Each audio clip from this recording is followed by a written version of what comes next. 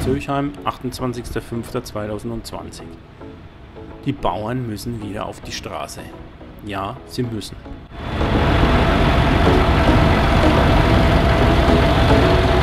Dies ist noch vor kurzem, Landwirtschaft in Deutschland ist systemrelevant.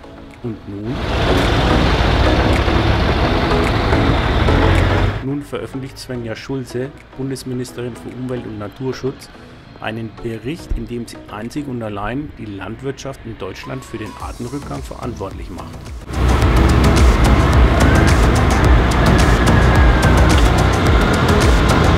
Deshalb rief der LSV Deutschland bundesweit zu Demonstrationen und Kundgebungen auf.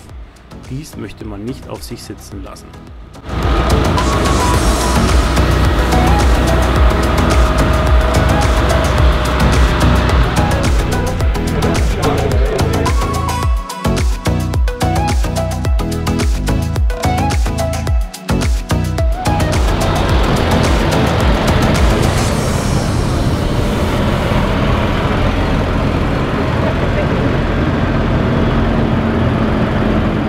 Versammlung oder die Kundgebung eröffnen.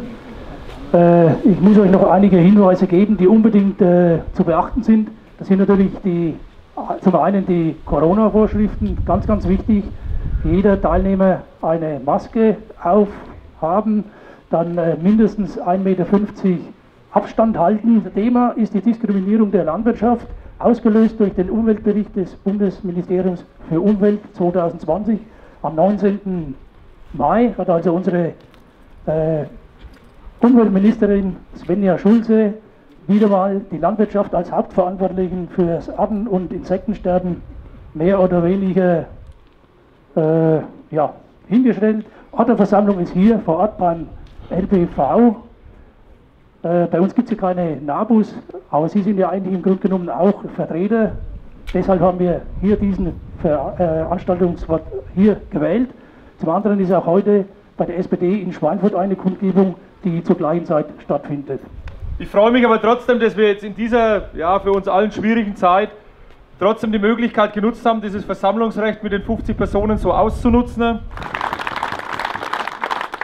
Nach dem mehr oder weniger Rückschlag mit der Düngeverordnung während der Corona-Zeit, ich muss das jetzt einfach mal aufgreifen, weil es ja mein Thema war, in der Zeit von Oktober bis im März, ähm, das hat uns alle sehr runtergezogen, weil diese Entscheidung sehr knapp war im Bundestag und meiner Meinung nach auch falsch ist. Und jetzt in der Zeit, wo man sich schlecht austauschen kann oder nur bedingt austauschen kann durch Skype-Konferenz, ich habe das in einem so einem komischen Video mal gesagt, äh, führt es zu sehr vielen Missverständnissen. Was aber kein Missverständnis für mich ist, ist dieser Umweltbericht, den die Frau Schulze da am 19. Mai rausgegeben hat.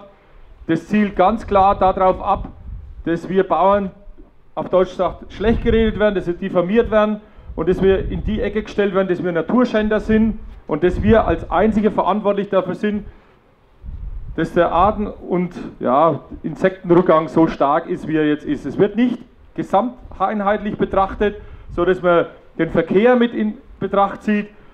Die Versiegelungsfläche, jeder Tag 65 Hektar und auf diesen 65 Hektar da findet aber auch kein Wachstum von irgendeiner Pflanze statt.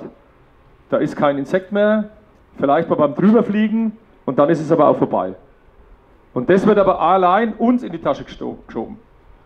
Aber ich denke, wir sind uns da einig, dass wir Bauern, wir sind jeden Tag draußen, jeden Tag draußen in der Natur und wir leben von der Natur. Wir sind davon abhängig. Jeder, der momentan draußen rumfährt und sein, sein Wintergäste beurteilt, bei vielen ist er jetzt erfroren, wir fangen jetzt, fangen jetzt schon wieder das Jammern an, bei anderen sind die Zuckerrüben nicht richtig aufgelaufen, aber das heißt, wir haben zu wenig Wasser. Wir haben durch die Klimaveränderung Spätfröste, die wir sonst nicht gekannt haben oder in dem Ausmaß nicht gekannt haben. Die Weinberge sind erfroren. Das schlägt uns alle sehr stark zurück und wir wissen nicht, wie dieses Jahr verläuft, aber man tritt jeden Tag mit Füßen auf uns ein. Und das bin ich der Meinung, das kann so nicht weitergehen.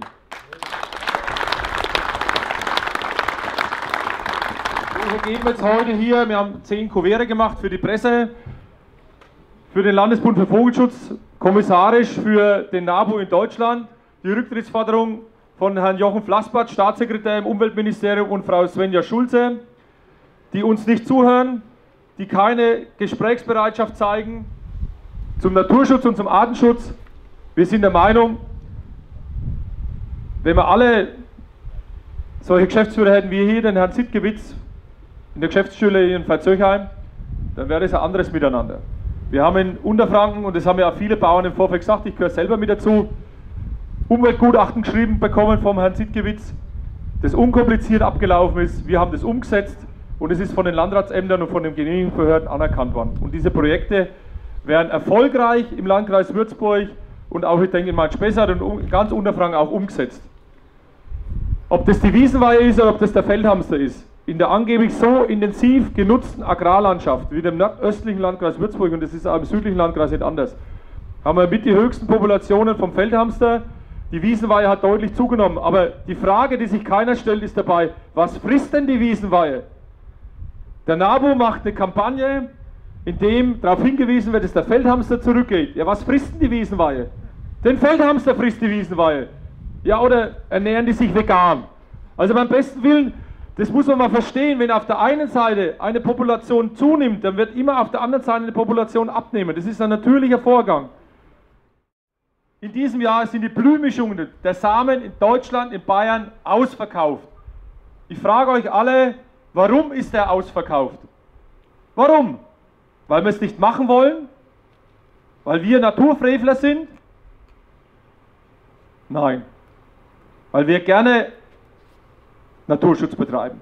Weil es unsere Lebensgrundlage ist. Aber wer soll das denn bezahlen? Der Bauer, der die Schweine produziert. Ja klar. Aber wir wollen alle, und entschuldigt, wir wollen alle billig fressen. Alle wollen sie billig essen.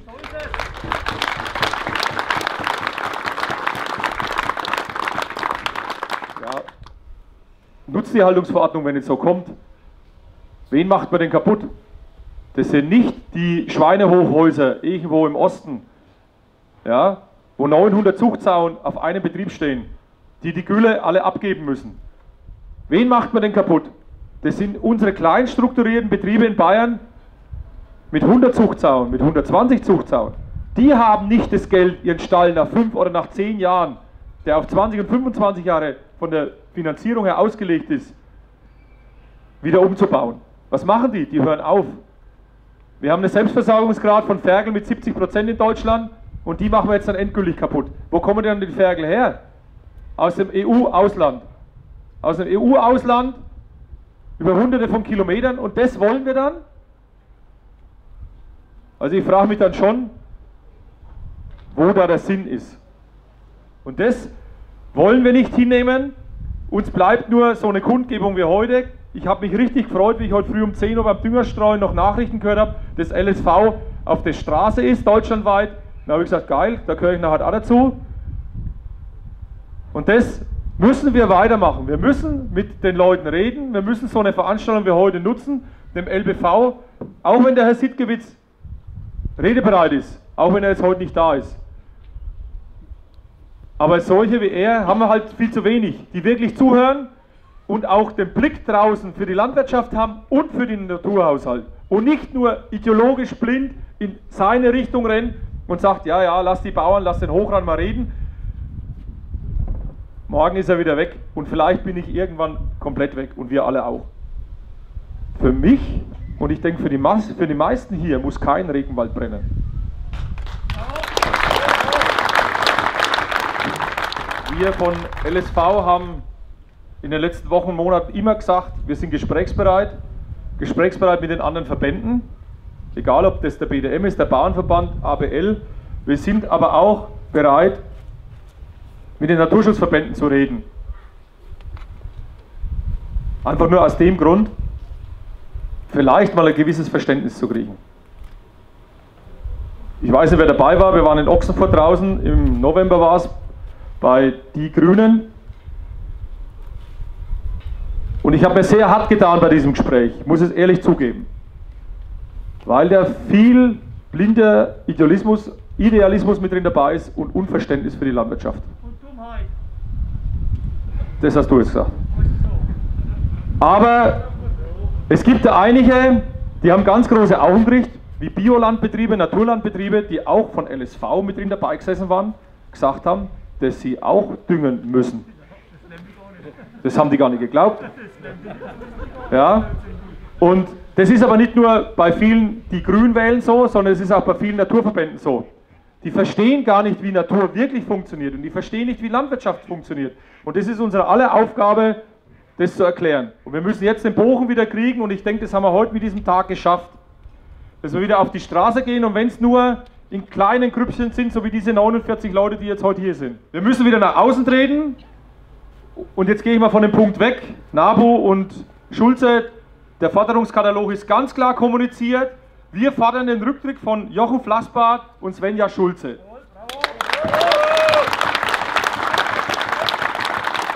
Wir dürfen uns nicht weiter spalten lassen.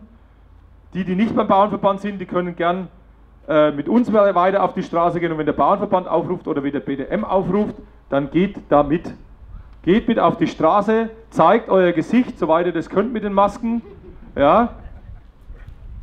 Aber wenn wir mit den Schleppern unterwegs sind, werden wir wahrgenommen und solche Veranstaltungen sind gut und wichtig. Die Bauern machen einen guten Naturschutz, machen einen guten Umweltschutz, produzieren Lebensmittel auf höchstem Niveau, die europaweit und auch weltweit Normen erfüllen, die glaube ich sonst keiner erfüllt. Ich glaube, da können wir auch alle stolz drauf sein. Und ich glaube aber auch nicht, dass wir uns verstecken müssen hinter irgendjemandem. Hinter keinem Politiker, hinter keinem Umweltverband. Wir haben eine breite Brust. Wir sind Bauern und wir bewegen was in diesem Land. Und wenn man uns abschaffen will, dann soll man uns das klar und deutlich ins Gesicht sagen. Dann muss ich mir frühzeitig Da muss ich mir frühzeitig überlegen, ob ich mir bei irgendeinem anderen Kontrollgremium vielleicht einen Job suche und dann den restlichen Bauern dann noch auf die Füße dreht, weil das soll anscheinend der Weg sein. Ja, dass wir uns selber kaputt machen. Aber Dazu darf es nicht kommen. Ich habe mit unserem Umweltminister in Bayern, mit dem Herrn Glauber, schon noch zu reden. Das sage ich jetzt auch in diese Kamera, vielleicht sieht das. Und wir haben da wirklich sehr viele Themen. Und ich kann es jetzt einfach mal nur so gerade raus sagen, ich komme langsam vor, wie, ja, das ist das Fähnchen im Wind ist. Der redet mit mir oder mit uns von LSV oder auch zum Teil mit dem Bauernverband und da kriegst du es immer schön geredet und dann geht er raus und macht im Endeffekt entweder nichts machen, ist auch was gemacht, ja, oder genau das Gegenteil. Und das ist nicht zielführend. Und ich denke, wenn, wenn alle Verbände bei dem Punkt, wo man gleicher Meinung ist, klar und deutlich kommunizieren, was wir wollen, dann werden wir auch erfolgreich sein. Sonst nicht. Deshalb vielen Dank, dass ihr heute da wart. Wenn wir das Ganze jetzt beenden und auflösen, auch wieder bitte die 1,50 Meter einhalten. Das ist nun mal Vorschrift, das ist uns so diktiert worden. Ist auch richtig so. Nicht alle gleich loslaufen und alle nach vorne äh, können ja noch ein bisschen Schwätzel da halten. Also wir sollen nicht mit der kompletten Gruppe jetzt davor ziehen. Da ist eine Gastronomie, die genauso leidet in Corona-Zeiten. Der eine oder andere kann vielleicht noch einen Kaffee trinken oder kann sich noch ein bisschen aufhalten. Ansonsten wünsche ich euch alles Gute, eine gute Ernte. das ist jetzt ein bisschen, ja gut, äh, und eine gute Zeit. Dankeschön.